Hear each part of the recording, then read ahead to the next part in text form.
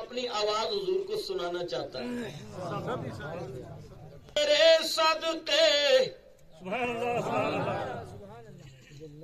जलने से छुटे सस्ते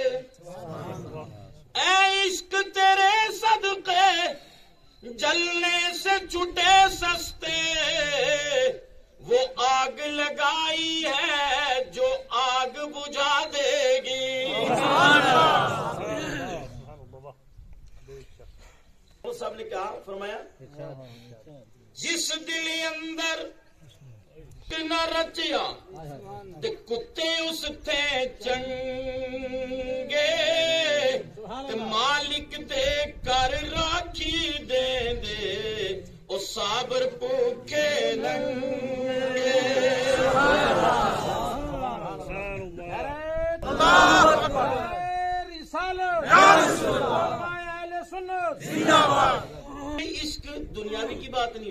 ठीक ही है इश्क तेरे सदके।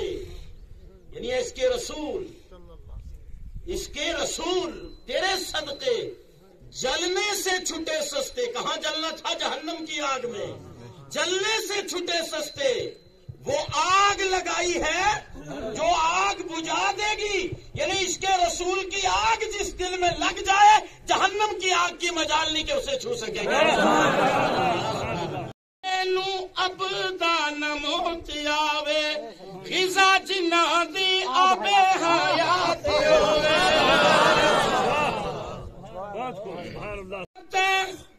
परेशानियां मत वसल वाली कोई साथ आवे वसल किसको कहते हैं मिलने को मैंने मुफ्ती यूब साहब अली रहमा की कई तकरीरें सुनी हैं एक शेर शेर पर अल्हम्दुलिल्लाह वो घंटे तकरीर कर जाते अल्लाह ने आज कोई मौजूद देख कर या तो मेरी आदत भी नहीं है, मैं जल्दी जल्दी देखता नहीं हूँ। ऐसे में पहले जो देखता हूँ, देख लेता हूँ, जिस दिन जाना है, उस दिन नहीं देखता कि आज क्या कहना है। भी साहब खुदा बोलता रखे वो। तो मेरा अकीदा है, सांस जब तक जारी है, तब तक बोलता रहूँगा, कोई रोक नहीं सकता। दर्द न छोड़े ते ओ गन थे गुन करेगा कामिल पीर मोहम्मद बख्शा ते लाल पत्थर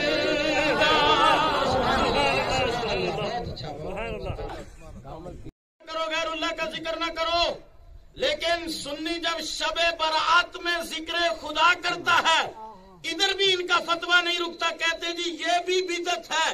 अरे, जिस जमात में ज़िक्र खुदा ज़िक्र रसूल पाक ज़िक्र सहाबा अहले बैतो औलिया ओलमाए हक का बिदत हो वो जमात खुद बिदत है और ज़िक्र करने वाले अल्हम्दुलिल्लाह अहले सुन्नत है।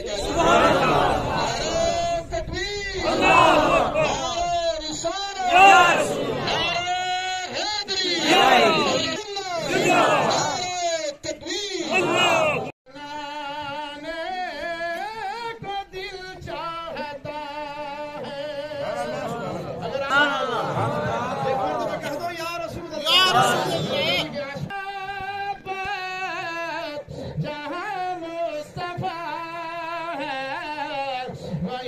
घर बनाने को दिल चाहता है।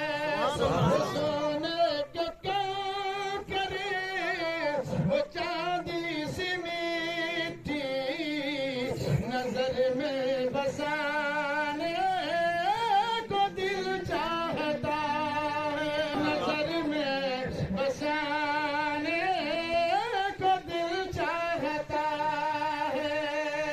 रहीम।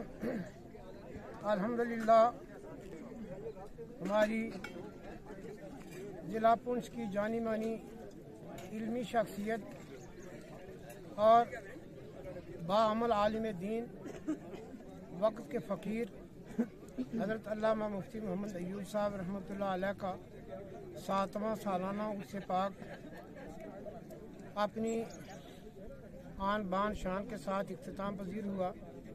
आज की उसे पाक की महफिल बहुत ही खूबसूरत अंदाज में मुनद की गई, जिसमें ज़िला भर के मुख्तदर कराम, मुफ्ती साहब के बहुत सारे शागिर्द, फाज कराम, कुर्रा हजरात सबने शिरकत की है। ख़तमात मुआजमात पढ़े गए कराम के बयान हुए और आखिर में उम्मत मुसलमान के लिए मजमू तौर पर बिलखसूस अपने इलाका के लिए खसूस दुआएँ की गई। और ये सारा फैज़ान मुफ्ती साहब को अपने वालद मोहतरम, मरहूम मकफूर किबला सूफ़ी बीर वली साहब रहमत मेरे वालद मोहतरम, ये उनका फैज़ान था। मुफ्ती साहब उनके खलीफा थे और दरबार आलिया बुलार शरीफ सरकार किबला बाबा फ़तेह मोहम्मद साहब रहमत बाबा फौजदार खान रहमत से ब्यात और खिलाफत थी और उस दरबार का फैज़ान था कि जो मुफ्ती साहब अपनी खूबसूरत ज़िंदगी गुजार कर गुजार कर यहाँ से तशरीफ़ ले गए। जिनका जनाजा इस बात की अलामत था कि वो अल्लाह के मकबूल तरीन आलम दीन, अल्लाह के बंदे गुजरे हैं। अल्लाह पाक मुफ्ती साहब की नक्श कदम पर चलने की सबको तोफ़ी अता फरमाए। दोनों मशहूर हैं। ताला तमाम हाजरीन पर करम करे। मीडिया वाले हमारे हजरात हैं जो मुफ्ती साहब से लेकर आज तक हमारे साथ जुड़े हुए हैं। मैं इनका बहुत बहुत मशहूर हूँ कि इन्होंने दूर दराज इलाके बार्डर में आकर मुफ्ती साहब की इस तकरीब सईद के अंदर इन्होंने शिरकत की है।